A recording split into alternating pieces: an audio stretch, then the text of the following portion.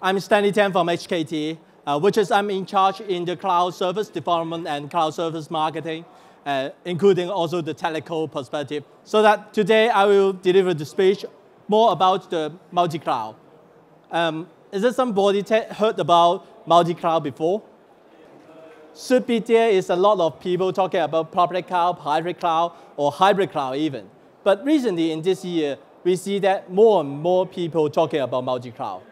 Today, the presentation will go through more about the reason why we are approaching or planning for the multi-cloud and when we are planning for the multi-cloud strategy, what we have to think before we actually deploy and migrate our application, our business process to a multi-cloud infrastructure.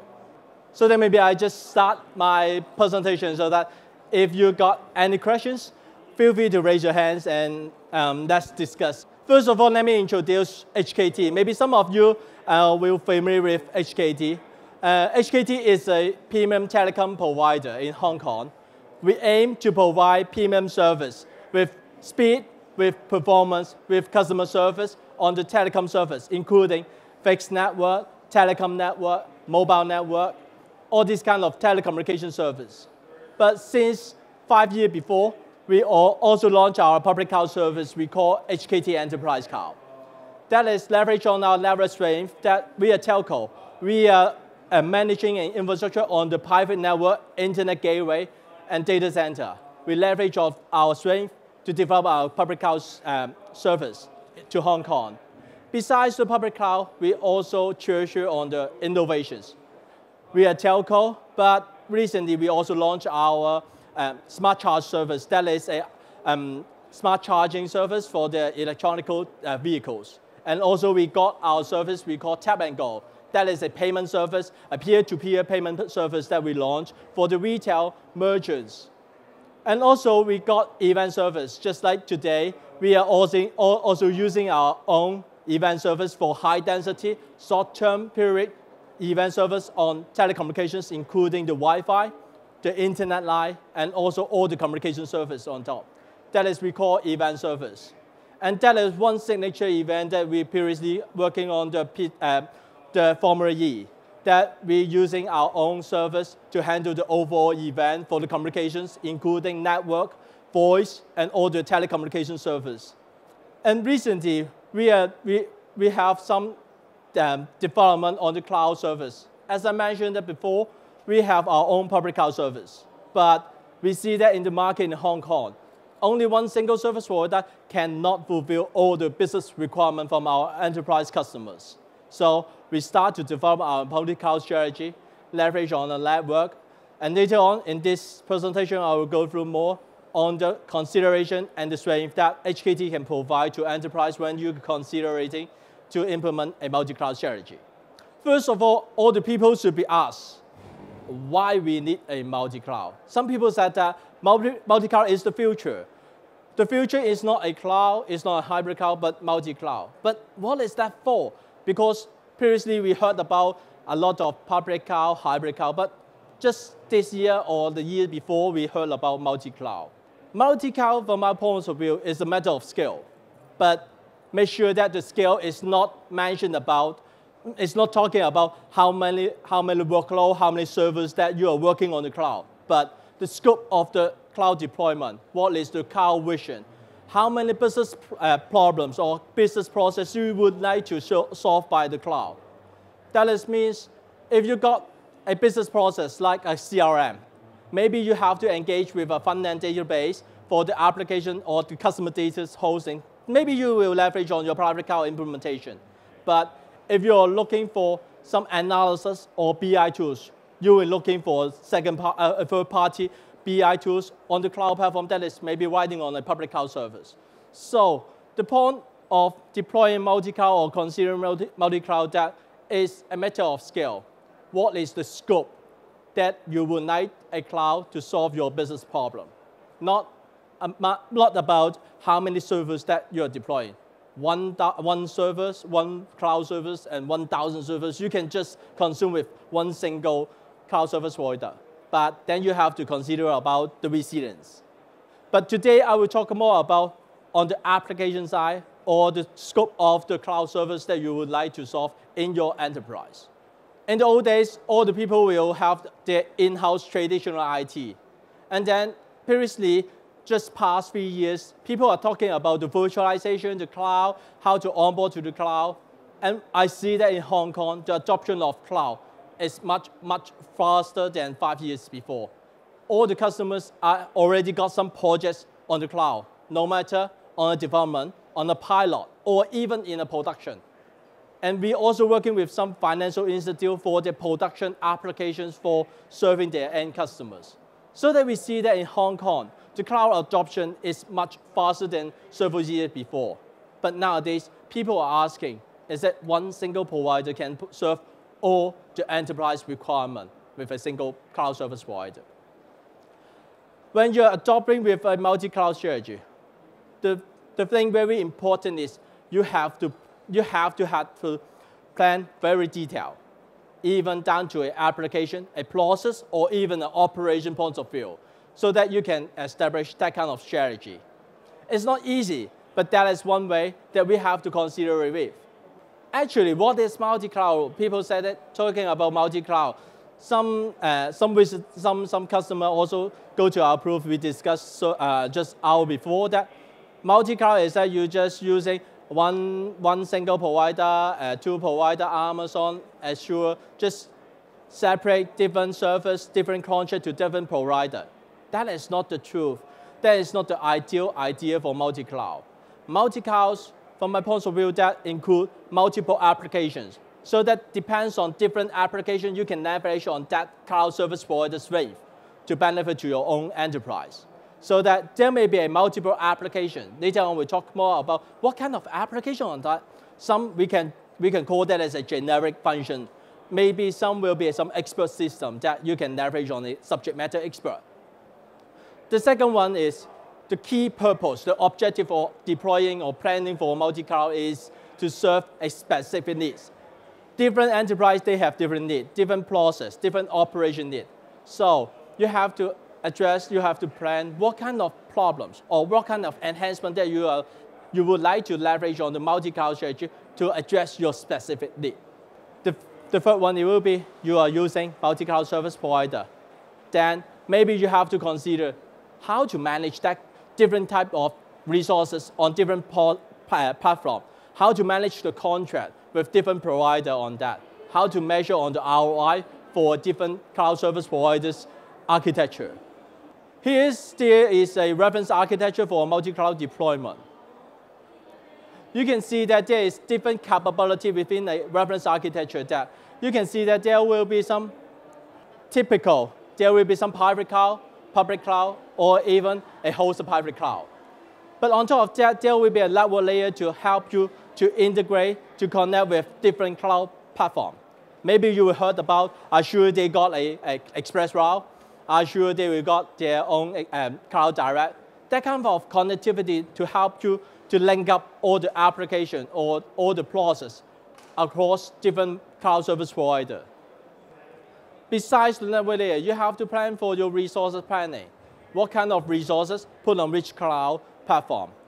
just say an example. Maybe you are using, you are targeting for a massive storage. Then maybe you are looking for a cost-effective storage for massive, maybe for archiving, maybe for data backup.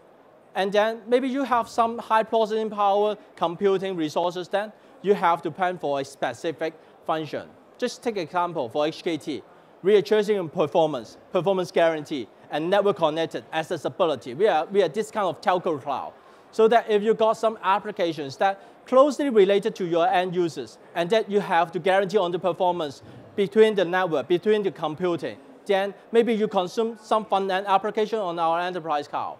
But you got some analyze, you, you got some BI capability, then you may, you may, maybe you have to leverage on a third-party cloud. But the most important thing is you have to connect or integrate different cloud service provider, different applications together.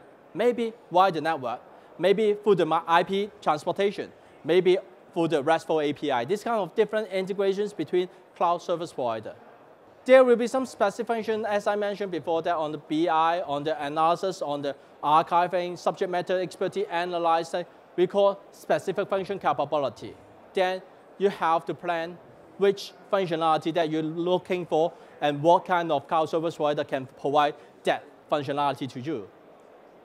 This kind of infrastructure thing you can plan before. But more important, we see that on the monitoring, the visibility. How can you have a single view on all the system on the different cloud service providers? So that uh, recently we also launched our service that we call CloudView. That is providing a single management plane that you can have a single dashboard with all the VM, all the systems that distributed in different client, different cloud service provider. So that on the IT point of view, you can still maintain a single wheel for all the system availability, performance, and also the utilization on that part.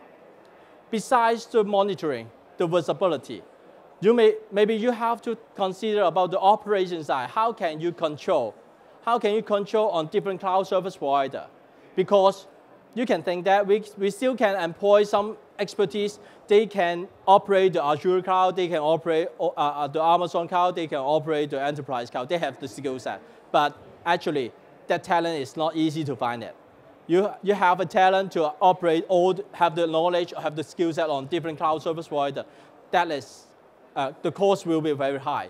So that you have to looking for a single management plane for the orchestration, a single portal, or single management tools to help you to integrate with different cloud service provider to help you to learn one single tools. Then you can operate different cloud service and deploy, operate, update, retiring, back backupping. This kind of operation you just leverage on a single management tools for different cloud service provider platform.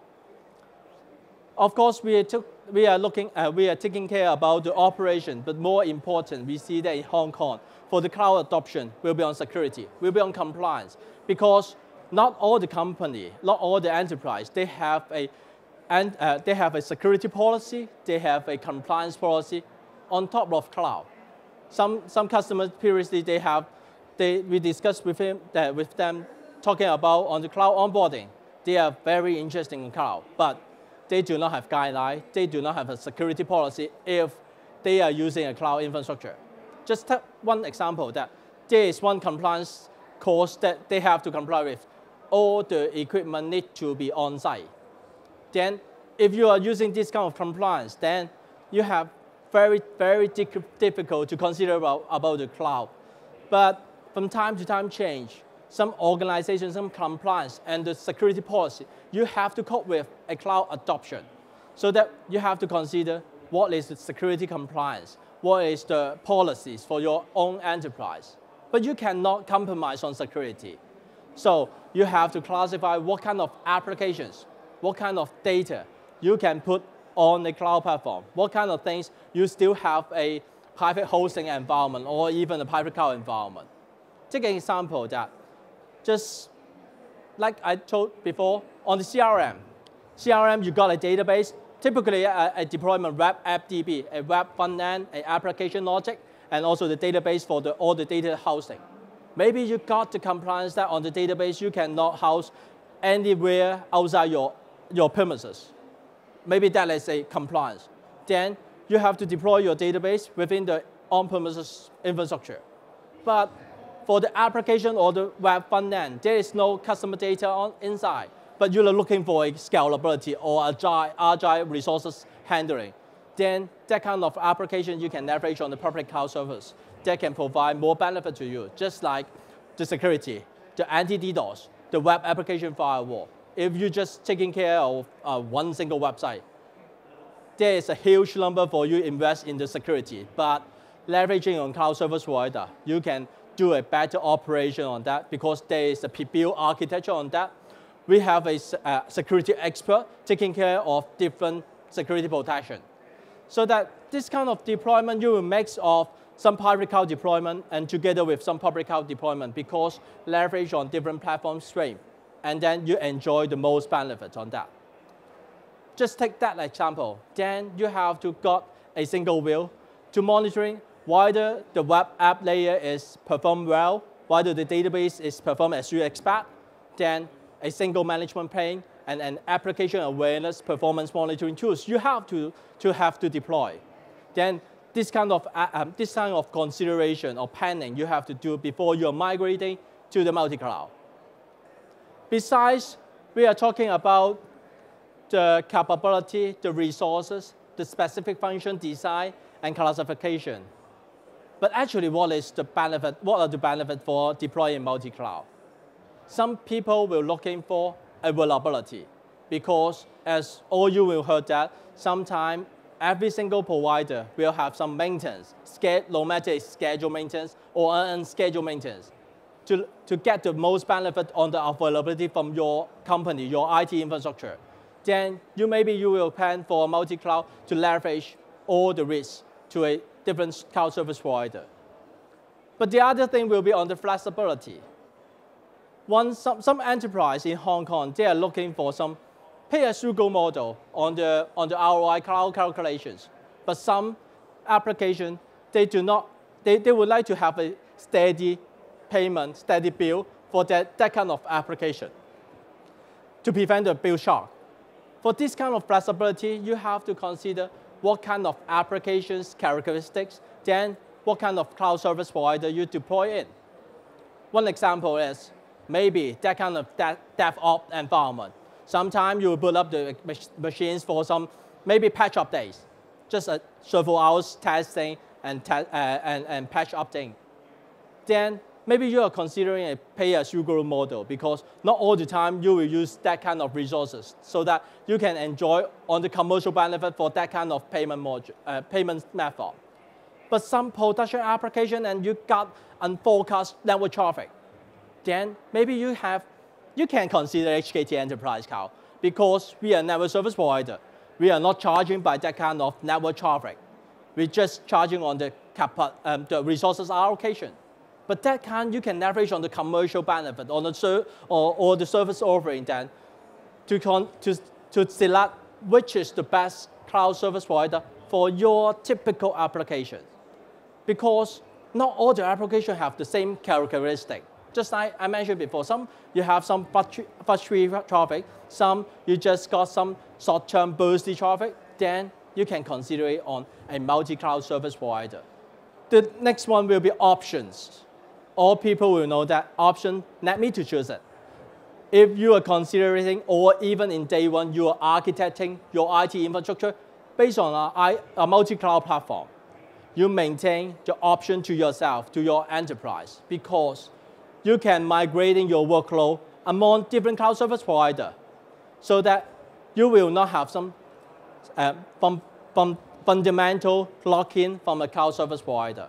Because sometimes maybe you heard about that, uh, we have de we deploy some application on a specific cloud service provider, but we cannot move out from that because different kind of reasons, because maybe on the financial, maybe on the technical, maybe on the operational uh, restriction that you cannot easily migrate your workload, your applications among different cloud service providers. So architecting a multi-cloud strategy can maintain the option to your enterprise so that you can have the option to plan for different applications on different cloud service provider. Talk about multiple and single. In a multi-cloud strategy, you can enjoy a multiple infrastructure to increase your reliability your availability uptime on that part. And also you can address for different multiple specific needs. Just like maybe we have some customer is a retail customer. They have to work with some expert system on the analysis for the uh, customer CRM. Then you can have some specific cloud service provider on that function. But database, maybe you have you can architect with another cloud service provider on the database part or data dashboard. And also, you can work with different cloud service provider to maintain the negotiate power from your enterprise to get the best commercial offering and the contract, of, uh, contract offering. But with a, sing, with a multi-cloud uh, architecture, you still have to consider a single management pane, a single visibility, as I mentioned before, and also a unified architecture so that you maintain the, pop-up, the the portability of your cloud applications so that you ensure in day one design all your applications can migrate among different cloud service providers. That maintain your options, as I mentioned. Talk more about the manageability, visibility, and also the connectivity, or we call performance. On the manageability, we call state manageability, state manageable. That is called, that is because on the operation cost, operation control. We have a lot of customers that they are adopting with cloud, but the biggest challenge is not technical, but operation. How we operate with your cloud service provider to keep maintain your daily operation on the IT operations. That is one change. If you are engaging with multiple cloud service provider, the model will be more complicated. Then you have to think before you migrating your application, your workload on the multi-cloud. The second thing is the security and compliance. How to align different cloud service platform to provide a unified or aligned security and compliance. That you can leverage on some security protections or you can leverage on some international standards on the security, just like the SOC, just like the ISO 2017 01. This kind of certification to align with the security protection on your workload. The last one will be on SLA. Different cloud service provider, the SLA measurement is different. I, I think that if you are engaging with different cloud service provider, you will understand that how they calculate on the SLA is different. So you have to consider how to align with the SLA or manage your SLA before you're engaging with multiple cloud service provider.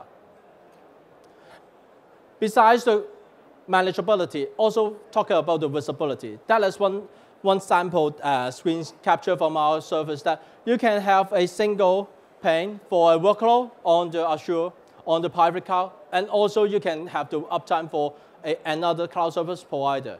That is the currently we are, we are uh, offering to our customer. And also you can have some trend analysis across multiple platforms. So that you can have to, you, you can monitoring on the users, resources utilization on also on the performance to do the estimation and performance monitoring. And also to maintain the uptime, to monitoring on the uptime.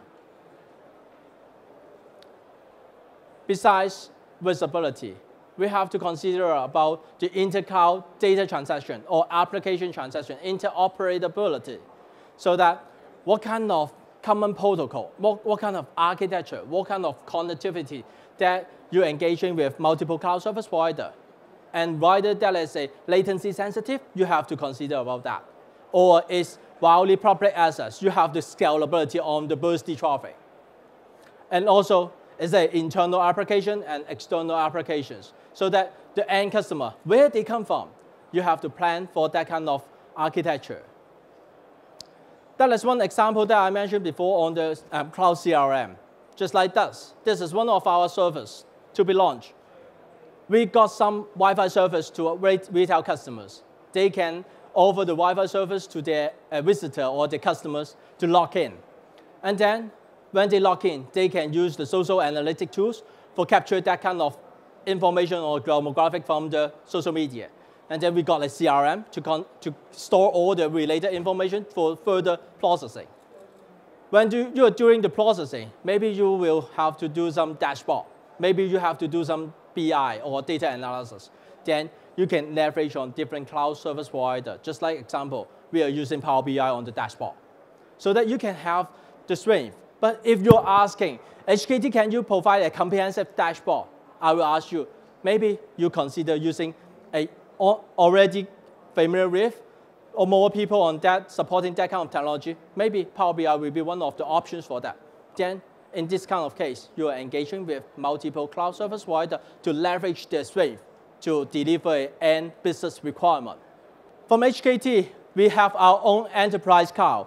And also we are engaging with different cloud service providers to offer a unified cloud service experience to our customer. But we also have our strength on the network. We already connect with different cloud service providers to help you. Even though what, what kind of workload you deploy in different cloud service provider, you can still maintain a connected infrastructure, a unified infrastructure within a single management pane. There is a series of cloud service offering that we are, we are providing to, for enterprise customers. Today we have approved in outside at uh, stand J15. so that we have some demonstration on the cloud view that I mentioned before on a single management pane for a monitoring on multi-cloud architecture. We have some IoT deployment on the multi-cloud architecture. And also we got some next generation uh, workspace demonstration, how to leverage different cloud tools for your enhancing your new staff uh, onboarding experience. So that welcome, welcome all you guys to come together to discuss more to talk, let, let us to discuss more about the cloud journey that you are looking for. Today is, this is the end of my presentation. Thank you for your attendance. And I will be here. If you have any questions, you can just uh, let me know. Thank you.